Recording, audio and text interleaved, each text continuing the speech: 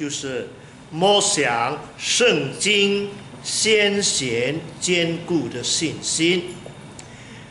最近我们的信息都是强调聚焦于坚固的信心，因为信仰就是信心嘛。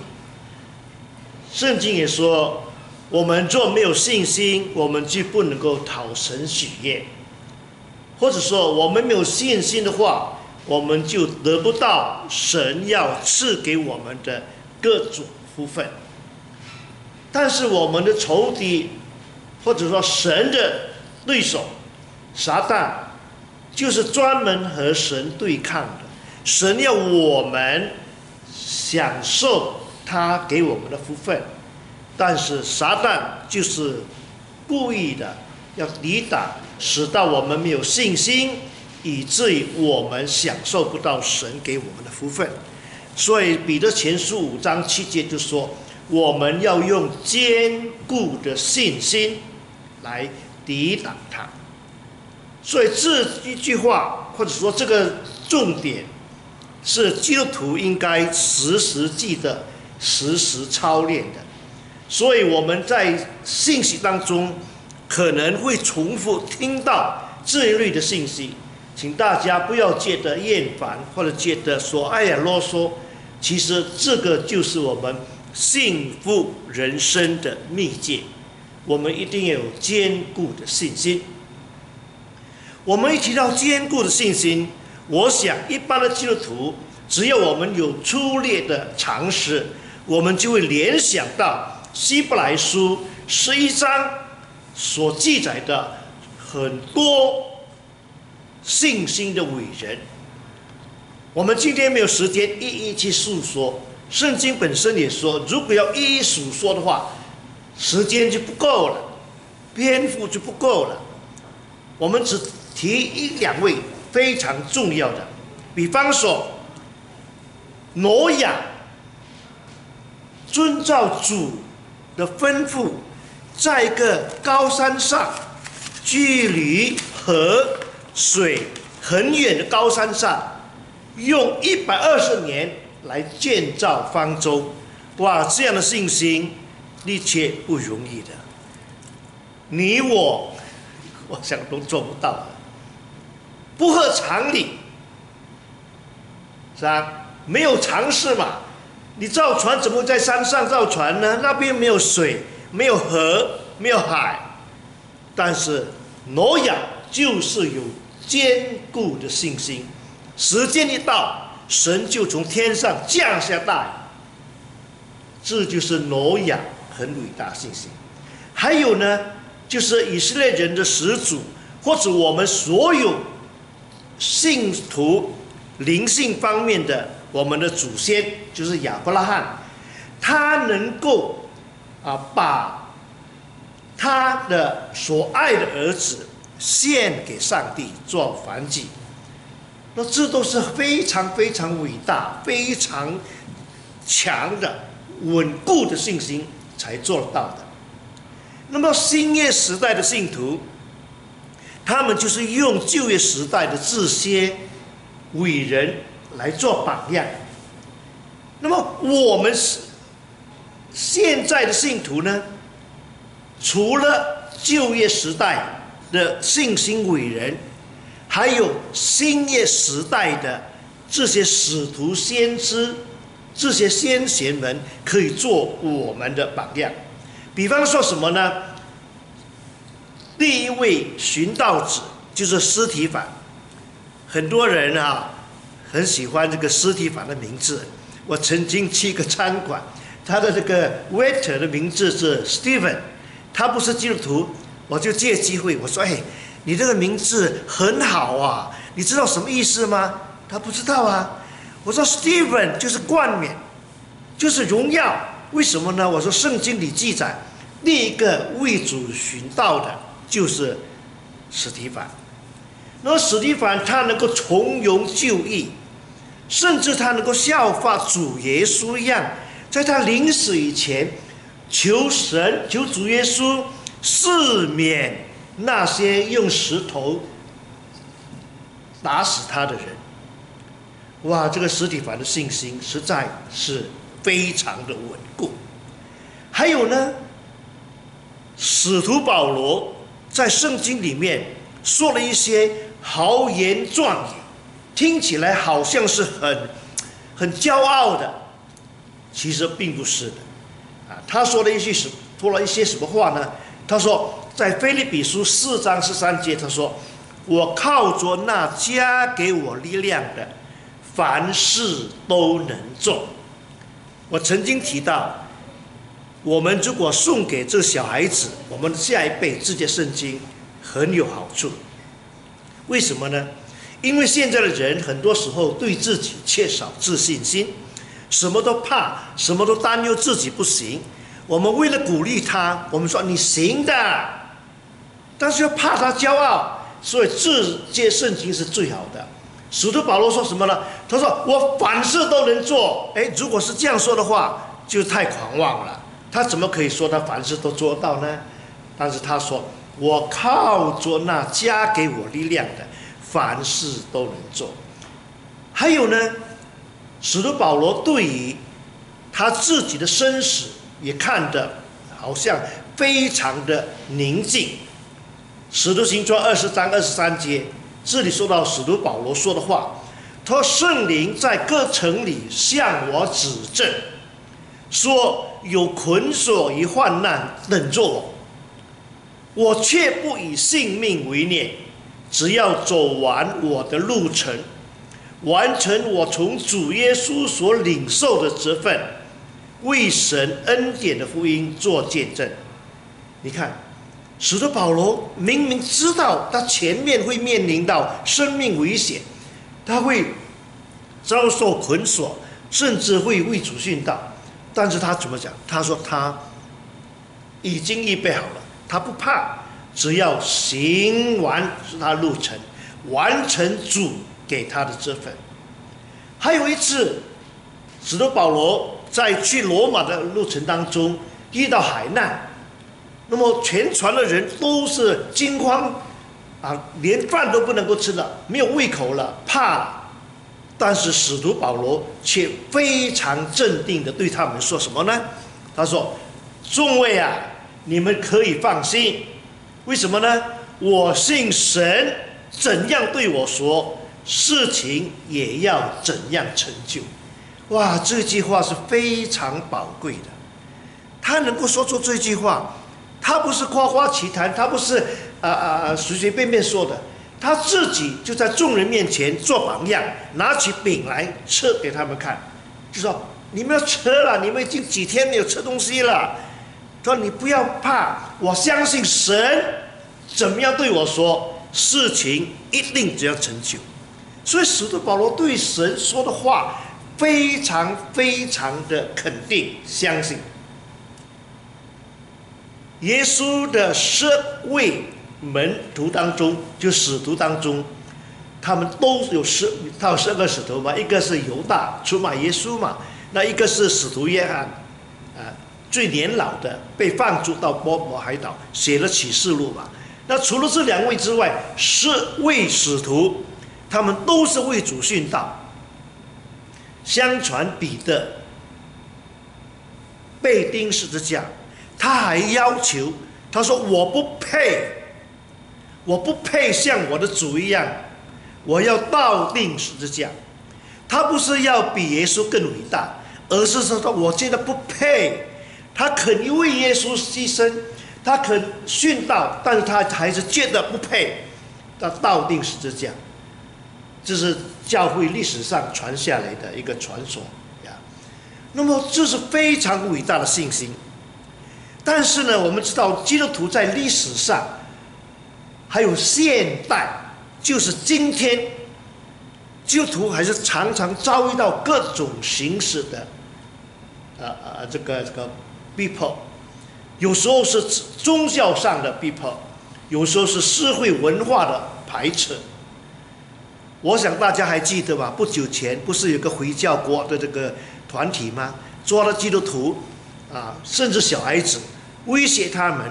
如果他们承认要敬拜神的话，耶稣的话，他们就会死。哎，真的有人有这样的信心为主殉道，哇，这个是非常非常伟大的一件事情啊！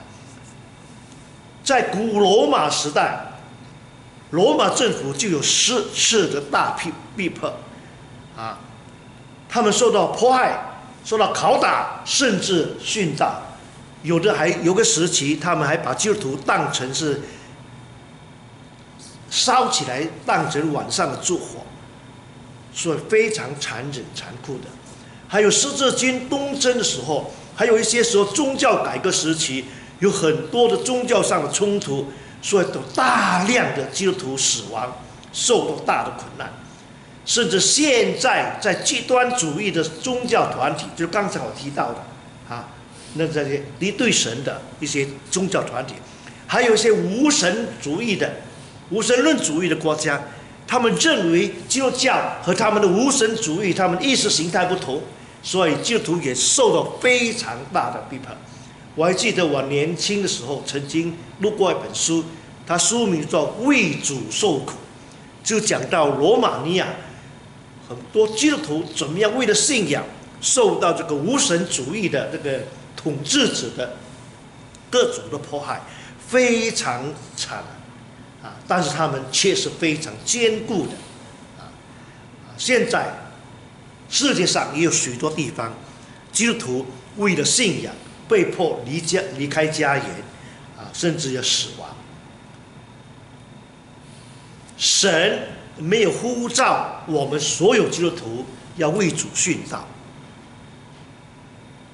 我们没有大家，我们现在在美国的基督徒要为主殉道的机会不多，主也没有要求我们每个基督徒都要为他而死，但是主却很明显的、很肯定的呼召要求我们基督徒要为信仰坚守立场，我们要敢起来为信仰讲话，为信仰发声。抵挡那些无神论或者反对神的人，很简单的，上次上个礼拜做筹道也提到了嘛。现在在美国这个社会，很少人可以说或者敢说、愿意说圣诞快乐。为什么？因为现在美国的文化已经非常堕落，已经非常后退了，离神很远了，大家都不敢说 Merry Christmas。怕得罪人，但是我们基督徒就应该大胆点。这个不会牺牲生命的，但是我们肯吗？我们有没有这个勇气啊？我们就开始，我们主动的。我到银行去，我到 shopping center 去买东西的时候，我就开口和他们说 “Merry Christmas”。偶尔他们也回应说 “Merry Christmas”，我就知道他是基督徒。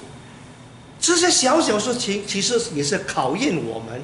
为主做见证的勇气和决心，千万不要退后，有机会就要为主发声，啊，不要让这个社会越来越退后。虽然我们知道，根据圣经的记载，这个世界是越来越差的，但是在这过程当中，我们仍然要尽上我们的本分，为主发光。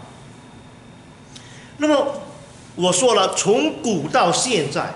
有许许多多，他们的名字没有被列在圣经，甚至他们的名字有的时候也不会上报纸，我们也不认识他们，但是却有许许多多就是这些的基督徒，就是靠着对主的坚持，对信仰的坚持，对主的忠心，他们把基督教信仰一直保留存到今天。所以，我们今天说的先贤的坚固的信心，不是单单指旧约时代的信心伟人，新约时代的使徒们，也包括历代甚至现代许多为主受苦的基督徒。那么，他们所有这些坚固的信心的人，他们。坚固信心的秘诀，他们建立他们这种信仰的秘诀诀窍在哪里呢？啊，我以前讲过，我我我现在要改了，不不用秘诀，因为这个不是秘密的，不是藏起来的，啊，这个已经是公诸于世的，很多基督徒都表现出来了。他们之所以有坚固的信心，他们有他们的诀窍在哪里呢？就是我们以前讲过的，以后我们也会常常讲的，就是什么？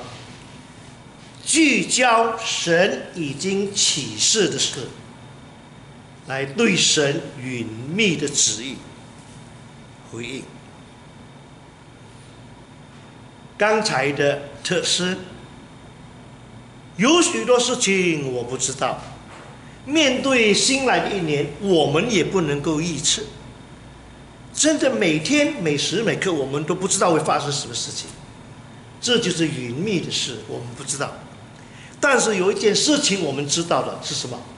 神与我们同在，神仍然掌权，所以这是我们基督徒要常常记得、重复的提醒大家、提醒自己，彼此勉励，用聚焦神已启示的事，应对神隐秘的旨意。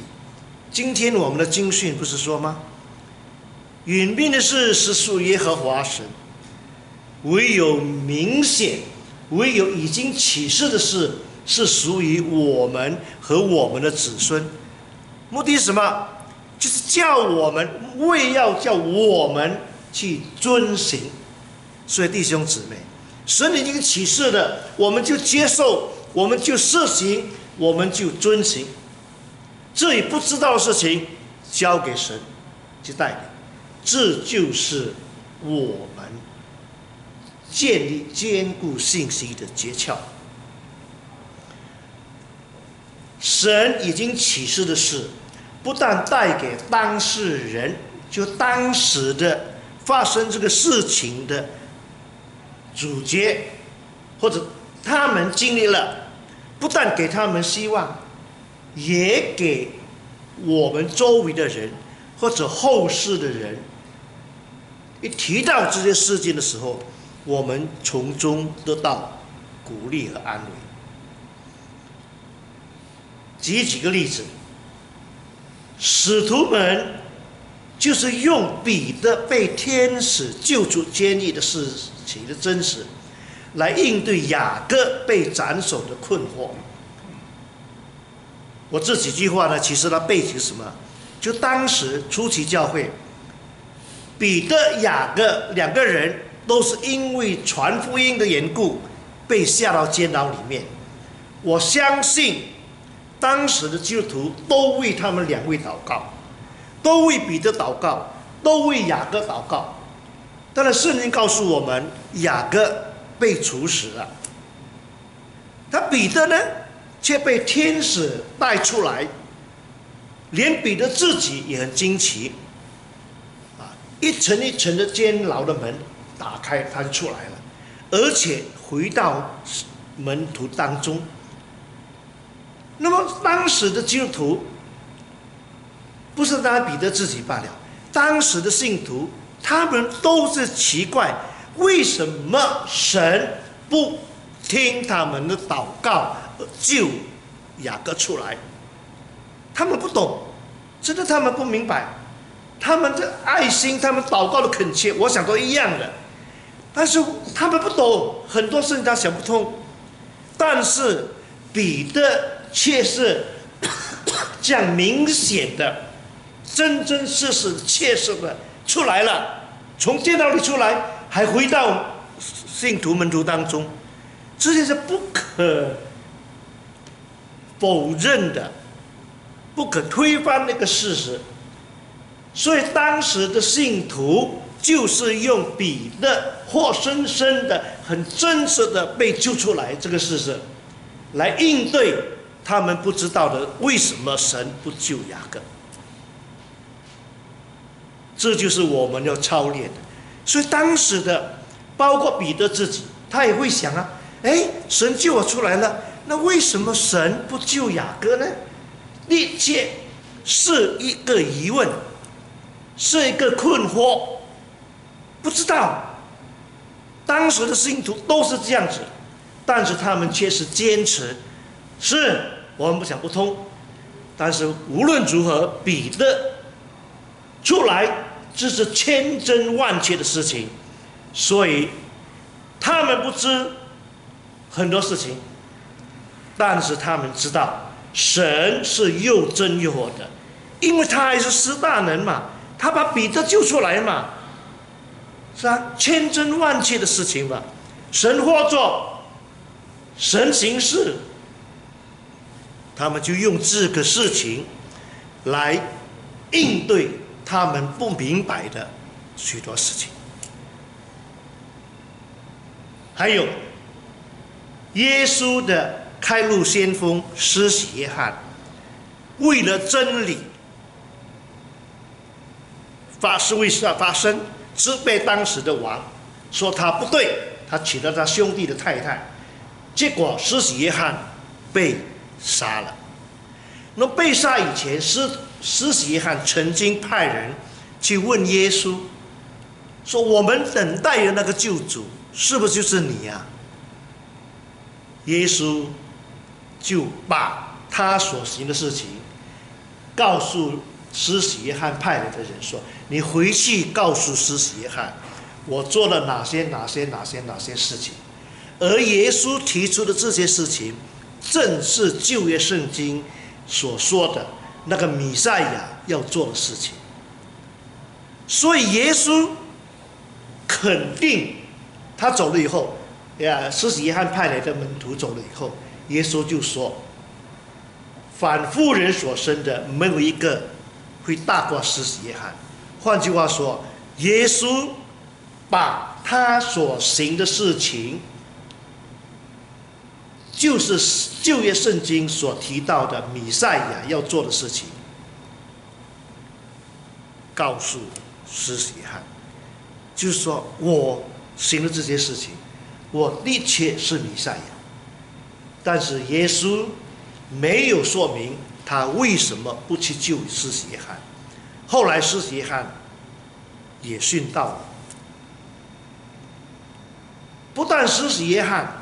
不但施洗约翰的门徒，不但是当时的门徒，到现在我们看圣经的时候，我们也不明白，圣经没有告诉我们为什么，但是圣经却记载主耶稣对施洗约翰的肯定，所以我说，使信徒们。以耶稣对施洗约翰的肯定，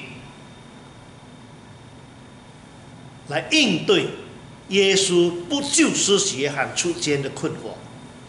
他们不知为什么？为什么？为什么？是很多人不知，但是他们知道耶稣不是一个忘恩负义的人。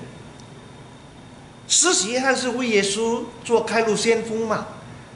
为耶稣做见证吧。但是耶稣没有否定，耶稣肯定，也有肯定施洗约翰做的工作。所以我们当时的门徒就知道说，耶稣没有忘记施洗约翰所做的工作，他不是一个没有情义的人。但是为什么他不做呢？为什么他不救他呢？不知道。所以他们就用耶稣的肯定的话。耶稣对施洗约翰的称赞，来应对他们不明白的事情。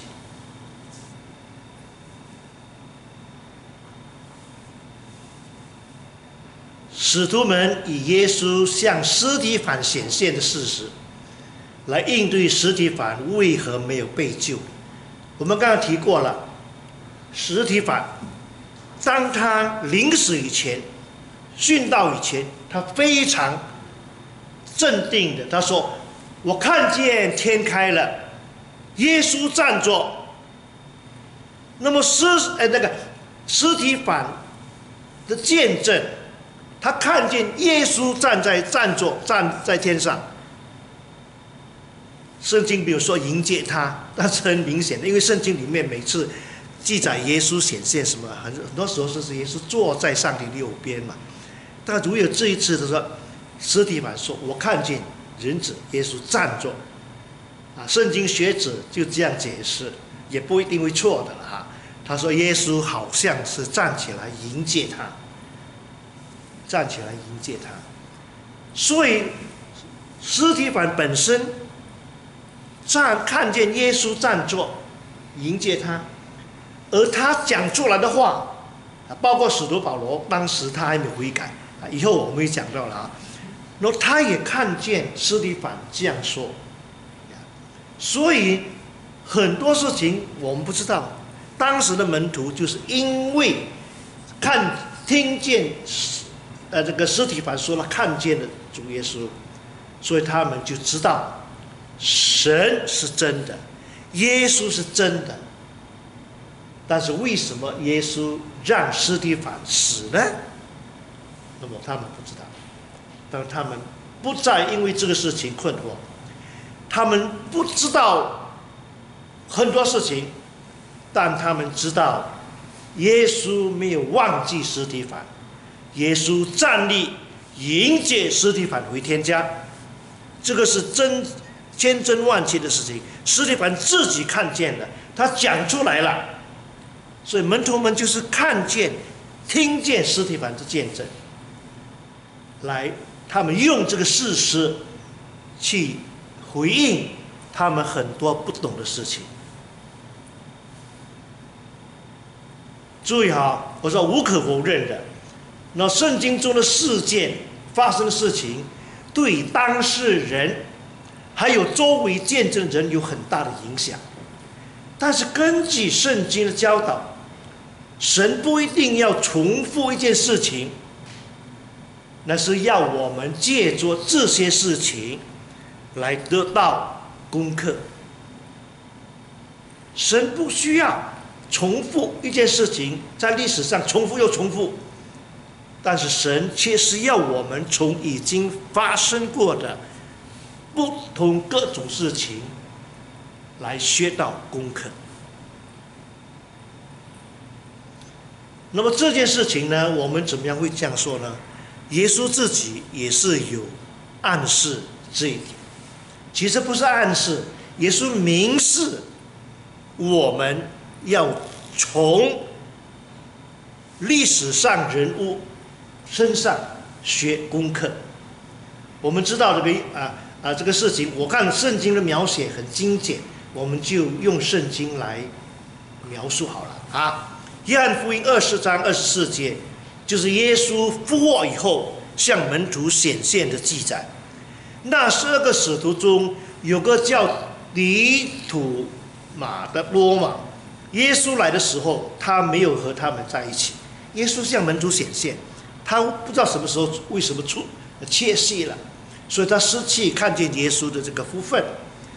所以其他的门徒就对多马说：“哎呀，我们已经看见主了。”他们高兴了，他多马还是不高兴。为什么？因为他切戏了嘛。所以弟兄姊妹，不要随便切戏聚会啊，不然的话，有时候神的恩典临到了，你就缺少了，因为你切戏嘛啊。多马借什么说呢？却对他们说。除非我看见他手上的钉痕，用我的指头探住那钉痕，用我的手探住他的肋旁，我皆不信。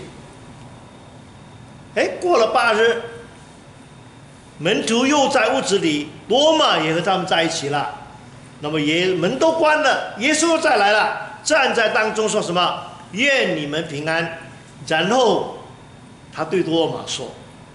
把你的指头伸到这里来看我的手，还有把你的手伸过来探住我的肋旁，不要疑惑，总要信。哇！当时的多玛又高兴又害怕。多玛回答说：“我的主，我的神。”他非常惭愧。耶稣对他说什么？注意啊，这句话啊，你因为看见了我，才信吗？那没有看见却信的有福了。所以耶稣就是告诉我们，我们要从人的身上学功课，不要单单凭自己别人看见的传给你的耶稣千真万确的事情，你要信。从别人的经验里面吸取经验，吸取功课。有一句话说：“经验是最好的老师，可惜学费太贵了。” 先贤们坚固的信心，固然是出于圣灵的感动。圣经说：“神在你们心里运行，使你们又立志又实行，为要成就他的美意。”很多时候，人呐有一种推卸责任，什么都推到神身上。神啊，你既然是无所不能的，为什么你不要这样这样这样这样这样这样呢？神的方法不是这样的。固然神是无所不能的，但是很多事情。神借着圣灵感动启示我们，但是另一部分是我们人的责任，我们的反应、我们的回应是我们的责任，不能够把全部归到神身上。说神啊，你无所不能的，你就使到我坚固信心。神感动你了，神向你启示了，但是你的回应是你的责任。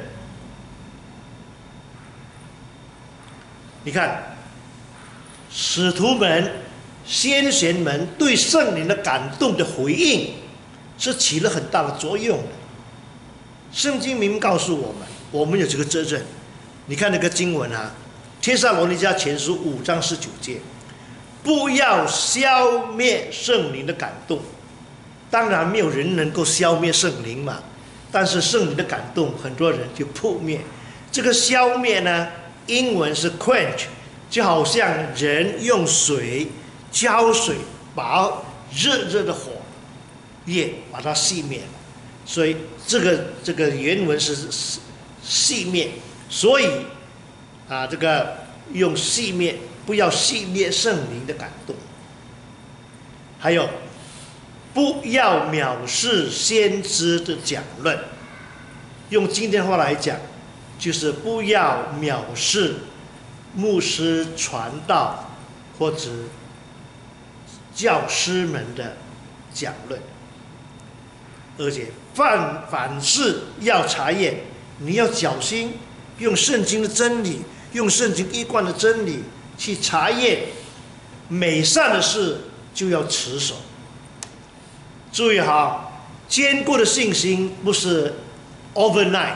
一触即成，一一天一夜就可以成功的，不，乃是生活中慢慢积累而成的。刚才我提过了啊，经验是最好的老师。从过去的经验，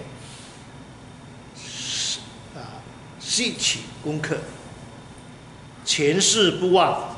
就是后世之师嘛，而这个经验呢，不限于我们自己的经验，也包括别人的经验。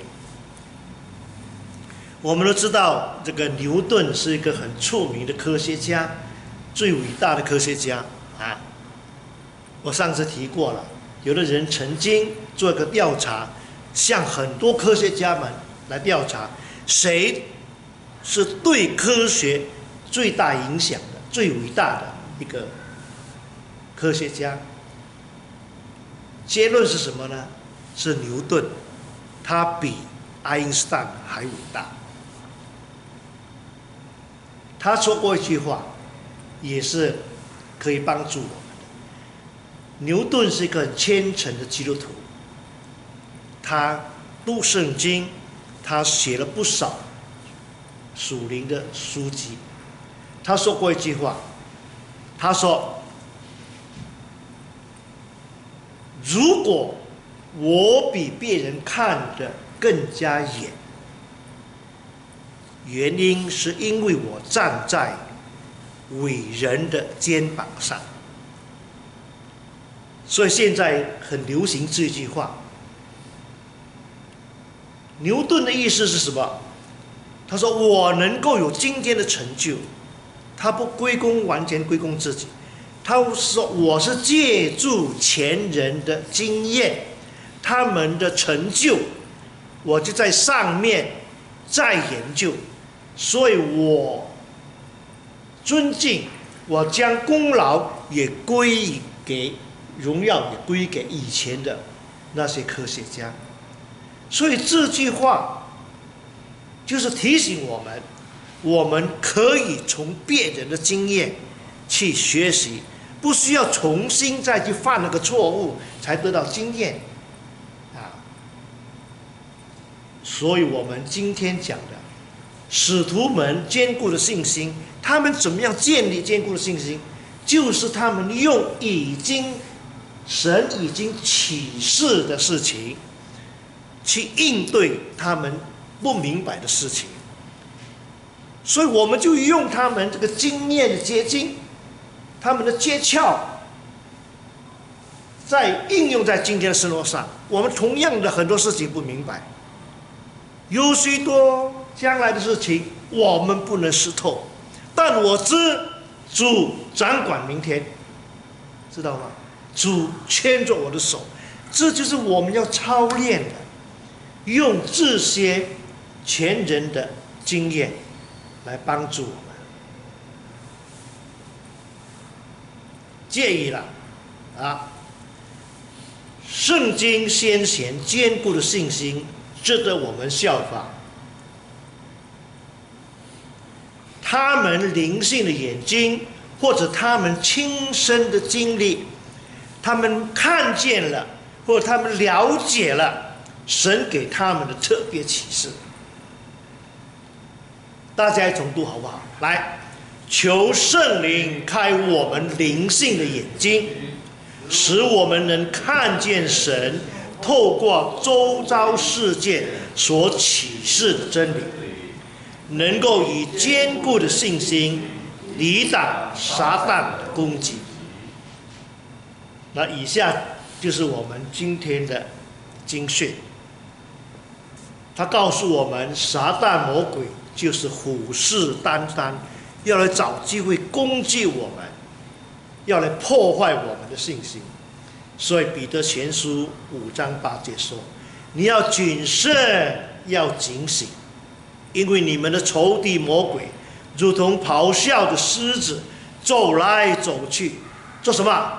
要寻找可以吞吃的人。”那圣经也教导我们应该怎么样回应，说：“你们要用坚固的信心抵挡他。”因为知道你们在世上的众弟兄，也正在经历这样的苦难。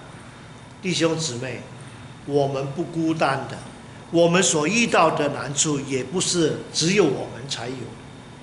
很多爱主的弟兄姊妹，同样面临这些的苦难。以前的已经有了，他们怎么得胜，我们也可以。吸收他们的经验，向我们现代的和我们同遭苦难的弟兄姊妹，和他们分享，彼此鼓励，彼此安慰提醒。那么，我们应该，当我们面临困惑的时候，要记得下面的经训。注意啊，这些圣经应该把它牢牢记在心中。讲了又讲了啊！重生生命记讲了又讲，二十九章二十九节，很容易记的啊！一起都来。隐秘的事是属耶和华我们神的，但明显的事是永远属我们和我们子孙的，为要叫我们遵行至立法上的一。切话，愿神赐福大家。今天的信息是重温以前在各每一次的信息当中的重点，也是将来我们信息当中会重复出现的，因为这是非常重要的一个诀窍。一个原则，愿大家记得。我不知很多事情，但我知我们的神是又真又活的神。我知道他掌管明天，更宝贵的，我知道他牵着我的手去度过面前的二零二四年，我们不知道，但是我们知道神仍然和我们同在。感谢主。